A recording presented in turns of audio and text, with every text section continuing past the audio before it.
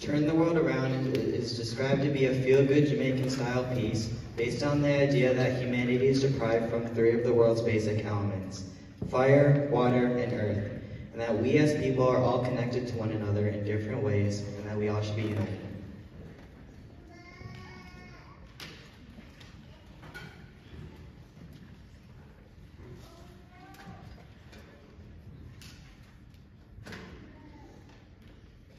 Mm.